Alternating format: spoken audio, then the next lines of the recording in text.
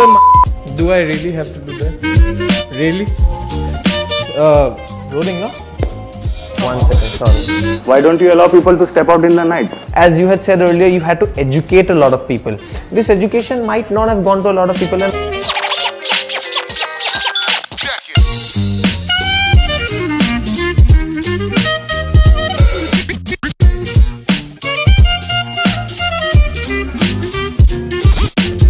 Uh, welcome everyone. Uh, I am Siddharth. I'm the uh, host for the Guwahati Forum today, and I'm very glad to be uh, hosting this particular panel after a very long time, uh, especially because now that we're in lockdown 3.0, Guwahati is clearly missing one thing. Uh, that is eating out. I think Guwahati is one of those cities that was fast emerging in the space of dining, experiencing new cuisines, and of course, we have always had a very varied spread.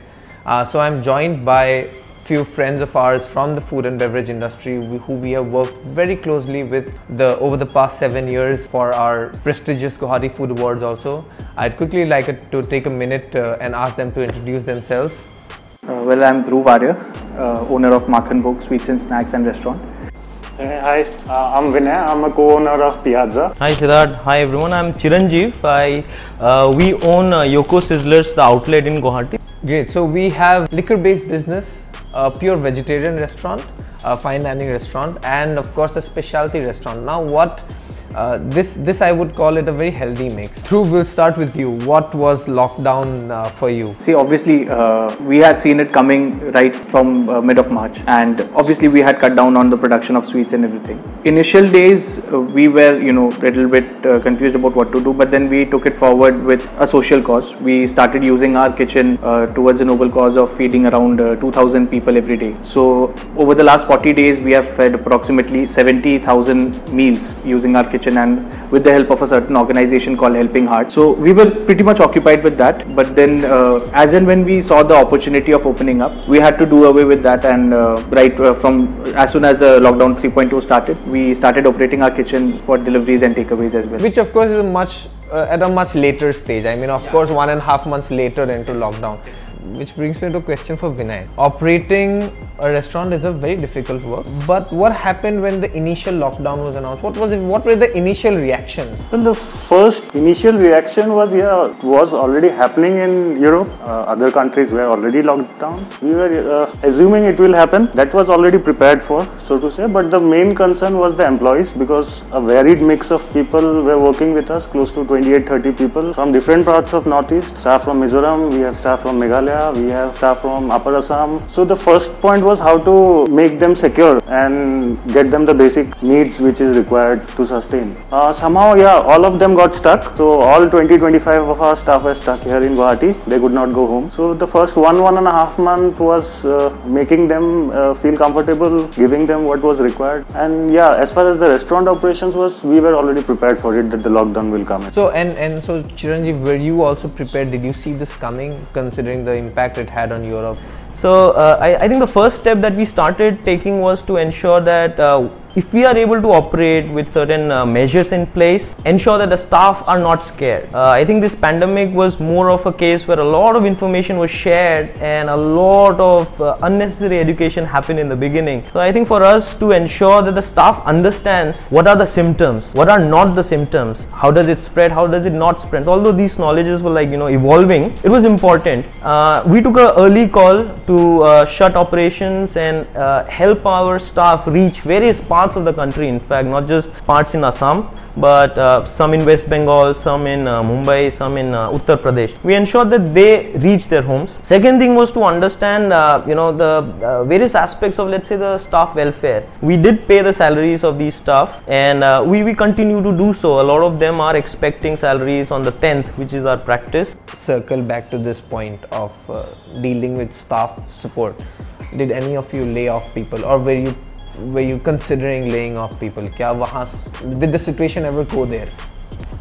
I would be very honest, like we might be laying off 30% of our staff when we open. It's, it's as straightforward as that. If, if, if, if it continues for a long time, we also might have to look at it. But right now, no, we are keeping them. Uh, our first response is to see where we can, let's say, rehabilitate in the other units, not in the restaurant. We have other businesses as well, like the guest house, accommodation base. Uh, a lot of the people who work in our restaurant is from are from the Bodo tribal belt and all. So there is a possibility that we might look at, uh, you know, bringing them to, let's say, the guest house. But that totally depends on the tourism industry. And and just again, I'll just ask another question in the same line. What do you think is the threshold for laying off? I mean, bus, I'm done now. अब अब मैं नहीं सकता. I cannot do this. When did you do? You, when do you feel that? Maybe since you have not laid off, that's why I would ask you. See, I suppose if uh, what was normal, what was considered normal before the pandemic, if it doesn't come back for another four months, I think that is going to be the end of it. You know, that is when we'll have to start looking at other ways. See, the F&B industry is aligned big time to, as you mentioned, the tourism industry. So I don't see tourism opening up in the next six months at least. At their best, there can be road drives. Their own people will be scared to go to airport. So there won't be friends coming in from say a Dibrugarh or a Tinsukia. There won't be friends coming in from Calcutta. So if you don't have people coming from outside, how many people will go out and dine? So end of the day, even tourism and F&B they are interrelated. Till as long as tourism is in a dull state, F&B would not go up. Valid perspective, of course. So, in the 3.0 edition of the lockdown, we've seen some relaxations that have come in in terms of allowing home deliveries. Your take on that? See, uh, for a restaurant like us, we, as I told you, we have a, uh, almost 30% of our sales, regular sales, coming in in the form of takeaways and home deliveries. So we won't mind starting it right now. So in fact, we have already started them. Uh, but then our complete dependency on home day, home uh, deliveries and takeaways, it won't work for long. As long as people don't have that confidence back on the delivery systems and on the restaurants, I don't think too many people will prefer eating out. You know. And, and when do you think, CJ, what, what's your opinion on this? When do you think people will start to feel normal or a little safe or kab tak I will be okay to go out and eat at Makhan Bhog or Piazza or uh, Yoko? See, there is a wish. I wish it happens very soon. Uh, but more than customer or consumer sentiments, I think it largely depends on how the government takes a stand on the lockdown and puts restrictions. The moment the government takes a stand that, you know what, it's okay, you can go out, there are no restrictions entering a mall, people will eventually start going out. Uh, we've seen that case happening in places like, you know, UAE, Dubai, and all, where uh, malls are shut. They don't let malls, you know, people go in. Hence people are you know getting into online deliveries and groceries and takeaways and all right? So if the government doesn't allow movement automatically customers won't feel confident to go out venture and eat out. Customer sentiments they follow later on you know? And i think a lot of it is based on how a restaurant is able to project themselves or at least you know maintain safety standards my take to answer your question is uh, I, I am optimistic at around october end october month end. On, on customer perspective, what are the things that you've done? I mean, what are the practices that you take care of in terms of sanitation or hygiene so, since considering that you are delivering uh, at this point? So, so right just before we opened up, we did a complete sanitization of our premises, and another one happened today morning. So we are trying to do it every week, once a week, and apart from that, the regular sanit- sanitization process it is ongoing. You know, regular cleaning with uh, chemicals and everything that our staff does it. But professionally, we are getting it done once a week. Then temperature checks of all. In fact, we what we have done is we have put up a temperature chart of the staff right in front of the customer's eyes. You know, so that the customer can himself have a look at uh, if everything is right or not or if we are able to maintain the record or not. So these are few things we, we have done and what we have uh, done is also tried to project it to the customers. I've taken pictures of it and sent it to the regular customers told them that okay come come in have a look. If you feel confident buy something. So, and, and, and do you think this micromanagement is going to help even if it's now or in the long term? Because this is likely to continue until the time we find a vaccine, maybe. I mean, we, no matter what relaxations we bring in, jab tak vaccine nahi hai, till, till that time we're going to be looking at always fearing proximity. So, do you think this micromanagement, uh, this level of micromanagement, noting down temperature and giving hourly updates or weekly sanitization, this is really going to continue or will help businesses revive as Chiranjeev thinks October? Most times, what happens is uh, things which have happened in outside countries they are eventually copied in India. In a case like this, this is like a continuous thing which is simultaneously happening. So whatever precautions he is uh, mentioning, whatever sanitization processes, they are just uh, World Health Organization has released this uh, list guidelines. All countries are following it. So the reaction of the consumer will be known to us after two months. Nobody can tell how the consumer will react. Government, I would say their logic of creating a panic-like situation wherein they created an atmosphere where everybody is in a panicky situation which was not required for I guess. But yeah now we'll have to overcome that panic situation where the customers or the consumers they start feeling safe again. That is the catchy and the tricky part. So let's see how it happens. Okay so clearly so we've closed on certain points which is uh, you know hopes to revive customer sentiment is still uh, a little far away micromanagement could help in the immediate plan but not a long term solution maybe. Clearly for some businesses uh, say specialty based restaurants uh, like a sizzler joint they might not be able to make most of a delivery based service or a uh, you know no contact delivery for that matter because they would be affecting the experience that their joint has to offer. Am i correct just just one last final perspective. What kind of expectation do you have from the public when they come back out of the streets? Regardless of a you know vaccine coming or what do they what do you want? Do you want them to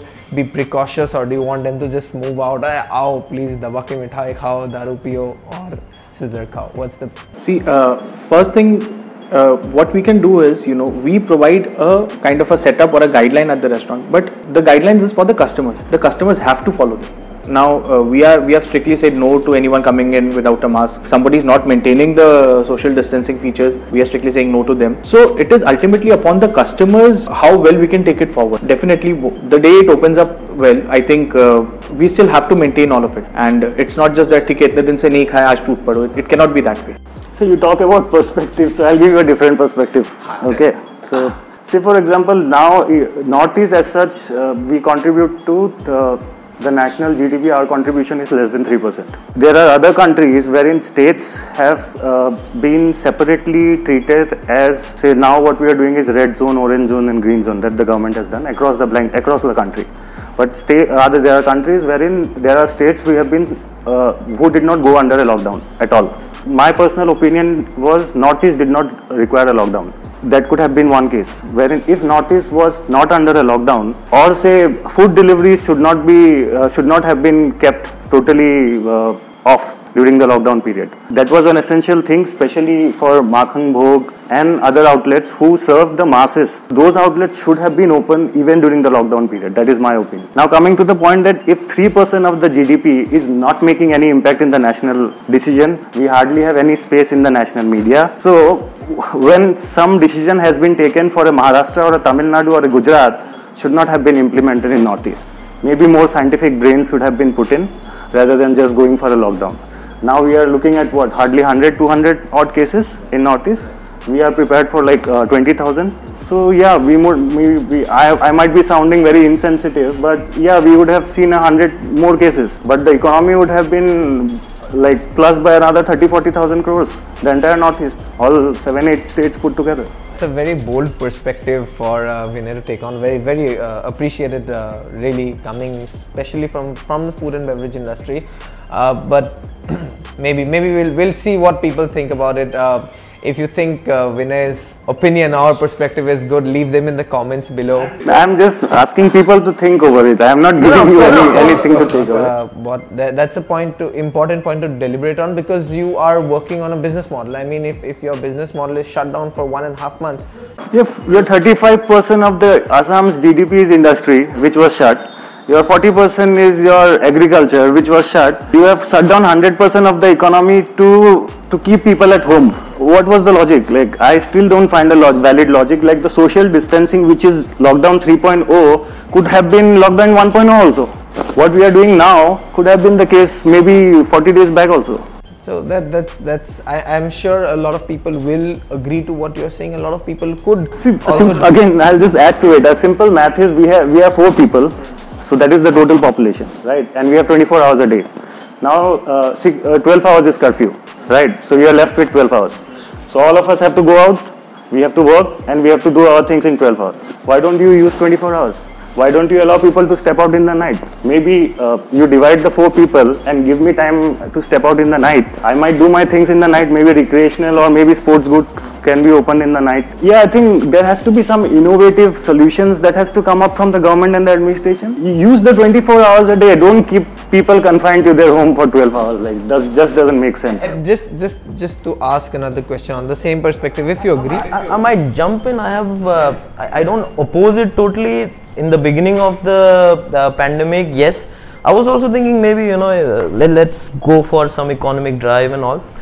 But then it's an entire economic downturn spiral. First, there is a shock with in terms of let's say supply or maybe demand, right? And then after some time, people will not have enough money to even pay for what they aspire, right? So, I mean, it's going to get into a spiral. Demand shock, supply shock, again demand shock, then supply shock, and then propensity to spend is going to take a larger hit. I don't think Assam industry is going to sustain on its own if we just remain open. We are so much dependent on all the other states and others, and exports and all those things. If they don't buy, we don't sell, we don't manufacture. And this keeps on going, right? Uh, I, I, think the government's move to do the lockdown was to break the chain. Rather than breaking the chain, I think we have retarded that spread to some extent. Can't say but wholly not making use of the time that we have. You know, the six-hour blanket curfews yeah, yeah. are not clearly helping. Public transports can be stopped in the night. So people who are you are having your own vehicle. If you four people want or two people wants to sit in a car and drive down to say Makhan Bhog is open at 11 o'clock in the night. Again, a different perspective. So I, I would probably go at 11 in the night, pick up some stuff, and then morning daytimes I would not go. So do you really think? Uh, you know between the four of us we are we are, we are practicing a set of measures that we consider appropriate for uh, you know not being infecting others or and or being infecting or, or infecting ourselves but the point is that this audience is still on the shorter side this is on, on the smaller side. There's still a lot of people who as you had said earlier you had to educate a lot of people. This education might not have gone to a lot of people and what if one of them becomes the uh, who would take the responsibility because one person becomes the foreman. So that is what the district administration is doing. They what the notification has ASDMA that has come. Two shops will be open once a week. So basically, to for uh, two days opening my shop, I'll go call my guy from Rangia. He will come for two days. He will open the shop, and five days he will go back again. Not possible, right? Practically not possible. So what I am suggesting is use the same logic wherein two days a week you give me six hours every day. Give me a time, say 9 o'clock in the night till 3 o'clock in the morning. I'll open every day. Makes more sense. Like yesterday, somebody had come to a cycle shop uh, in, on BB Borua Road only. Today again, he was next to it. The shop was closed because he didn't realize that yesterday the shop was open and next the shop will open next week now. So. So with this, we'll conclude today's uh, Guwahati Forum. Thank you so much, guys, for being here really appreciate uh, you giving in your time and your support and your valuable opinion. I look forward to seeing all of you dear audience uh, on the coming episodes of guwahati forum. Until then take care stay safe uh, practice all social distancing norms and